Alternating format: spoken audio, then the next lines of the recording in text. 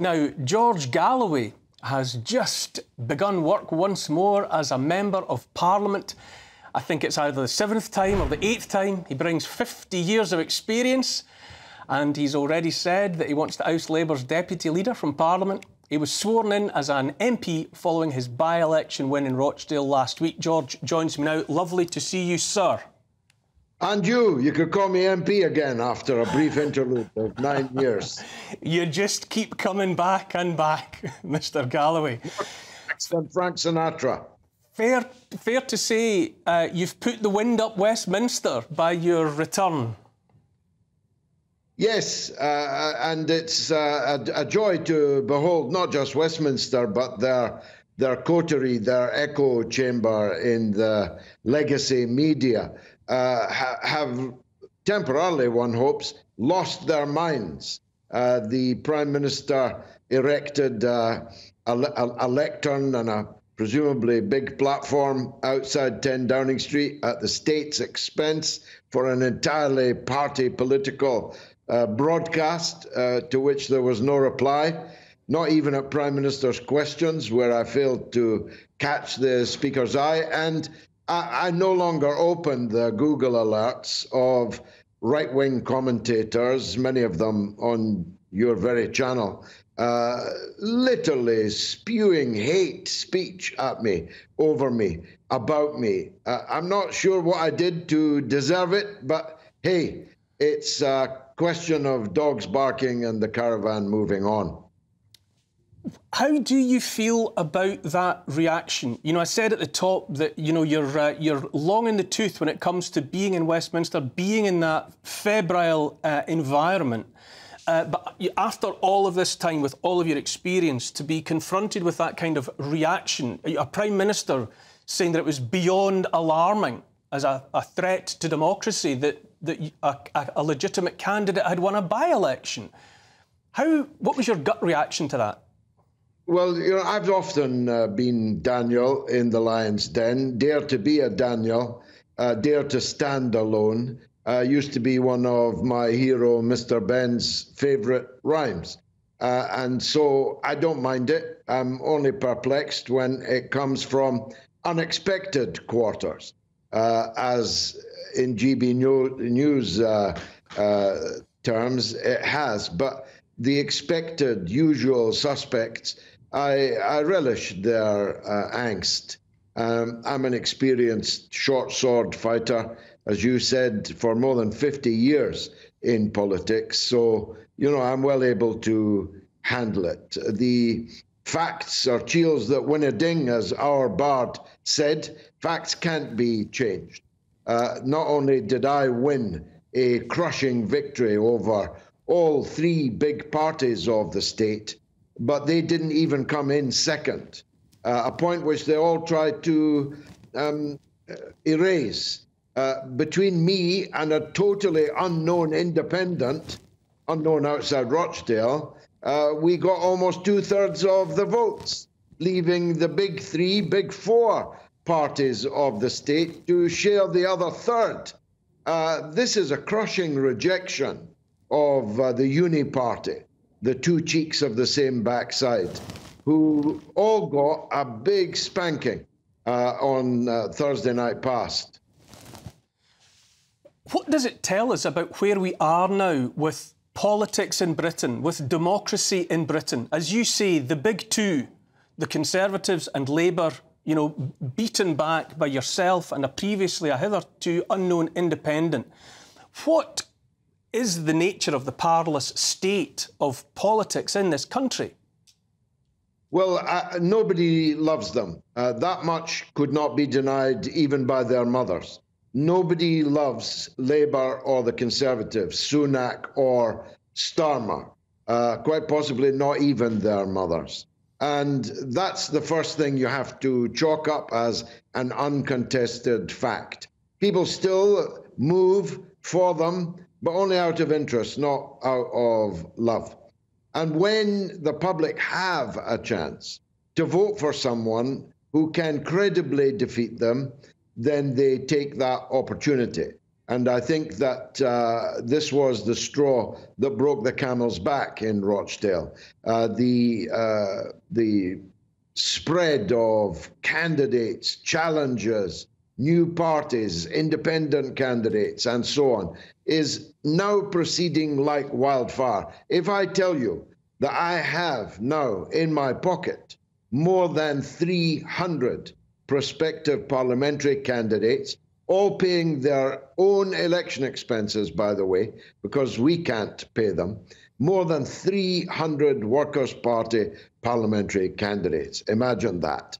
Uh, we, we, we didn't have three four weeks ago. Now we've got more than 300. And then when you add in the independents that are popping up, growing like topsy across the country, uh, we are talking about a challenge to the legacy parties in practically every constituency in the land, certainly many hundreds of them. And thus, the uh, course of the next general election is radically altered. Uh, we'll either win seats or we'll stop Keir Starmer from winning them. Thus, the outcome of the general election is dramatically uh, uh, altered and all bets are off. So when I saw, for example, your own uh, Jacob Rees-Mogg of your parish making a tear-stained plea on GB News for people not to abandon the Labour Party, how much the country needs the Labour Party, I scratch my head in utter bewilderment, I must tell you. Bear with me, George. Tom Bewick, do you scratch your head in bewilderment? What do you make of the of the changes that are in, that are indicated, that are evidenced by Mr. Galloway's success in Rochdale, and as he says, the, the, the possibility now of an alternative to the to the two cheeks of the same backside? Like a lot of ordinary voters, I'm scratching my head at just the degree of polarisation now that exists in our society. And yes, you know, Labour and the Conservative Party need to take some responsibility for that kind of climate.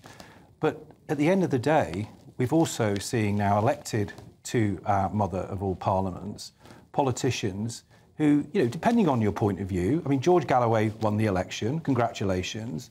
Um, but to some people, he's a demagogue. And the definition of a demagogue is someone who appeals to prejudice rather than rational argument. So my retort back to George Galloway is in terms of his politics going forward? Is he going to be a unifier or is he going to continue to be a divisive force in British politics? George, do you see yourself? What do you, or what is your reaction to, to being uh, uh, marked as a divisive figure in British politics? Well, I don't know who your guest is. I've never heard of him before, and I shan't stoop to answer his smear. I was elected in a democratic election with a thumping majority in which the two big parties of the state came third and fifth. So I don't have to answer to any unknown guest of yours. And I've got news for him. Politics was divisive from the moment that democracy existed. You decide to support this war or oppose this war. That's a division somebody has to speak for both sides of that division. I was kicked out of the Labour Party for being a leader of uh, the war, the movement against the war on Iraq. Uh, no doubt your guest and others would have said my opposition to the Iraq war was divisive. But I turned out to be right.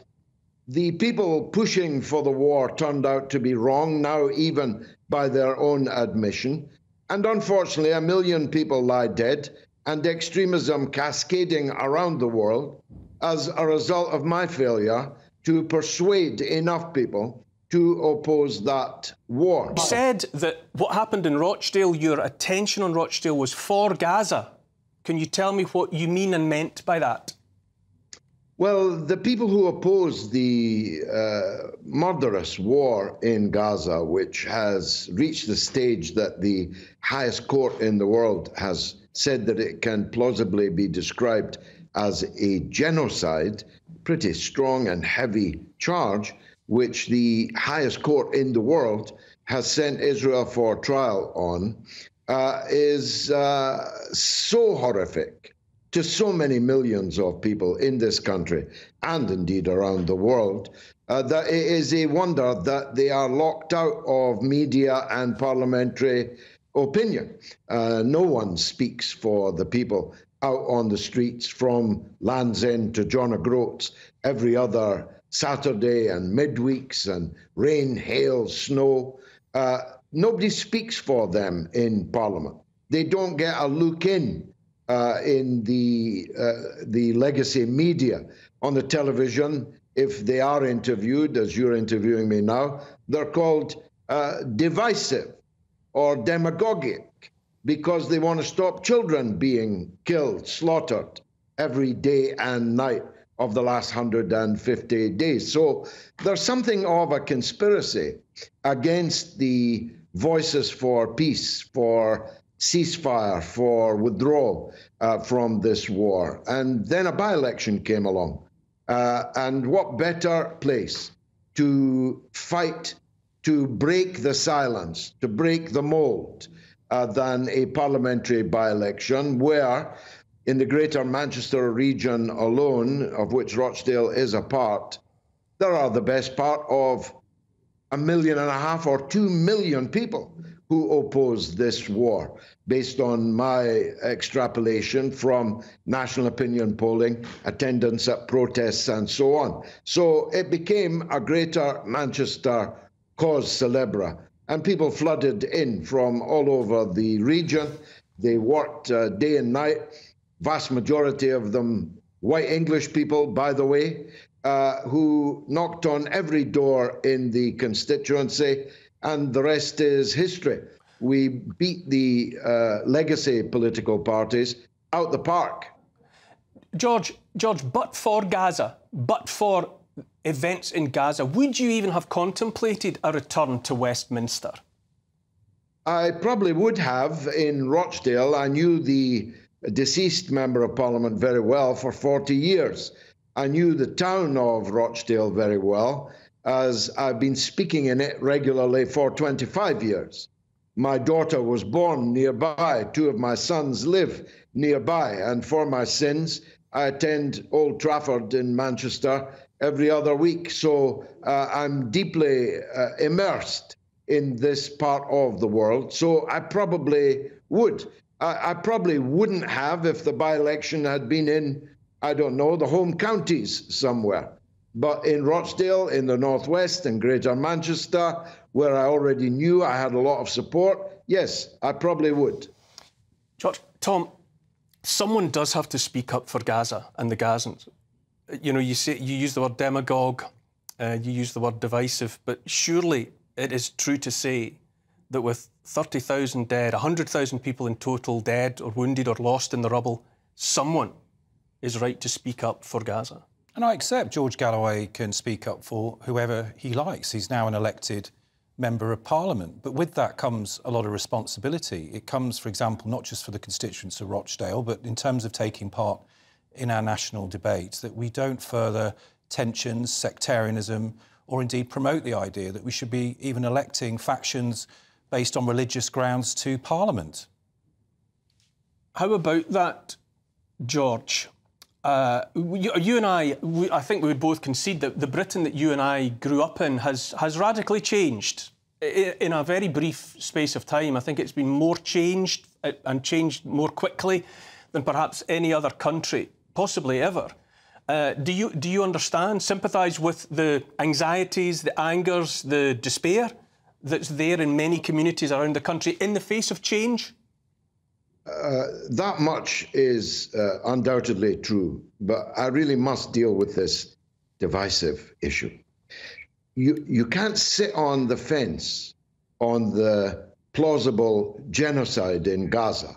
You're either for it or you're against it. If you're against it, you must speak against it. You must march against it. You must protest about it and you must call out the people proselytizing for it. Now, if that is divisive, well, what else can one do? Can we try and find a cozy consensus?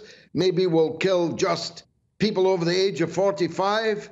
maybe we'll only starve uh, those uh, who are already uh, overweight. I mean, what's the consensus, the non divisive approach to this? Children are being killed. I'm against it. I spoke out against it. The people endorsed my stance. And that's really all there is to it. I have no responsibility to your guest to keep my criticism of a genocide within bounds that please him, even if I were able to divine what those bounds might be. But yes, there's look, there's always been division in politics, Neil. I was active in my first general election at the age of 10 in 1964 when Mr. Wilson savaged uh, the 13th Earl of Home, who was the Conservative Prime Minister at the time, and uh, broke uh, the apparently never ending rule of the upper class Conservative patricians. It was a divisive time. The 60s were divisive, the 70s, even more divisive. And they didn't require me in Parliament to be divisive. I've done a, an oral book on the 1970s. Uh, the 70s was the most extraordinary decade in modern times that our country has ever gone through. So, look, politics is divisive. Do you go this way or do you go that way? And let the uh, uh schools of thought contend and let the people choose between them. That's my view. George Galloway, MP, we will all look forward with a great deal of fascination to see how your latest tenure in Westminster will play out. Thank you so much for your time this evening.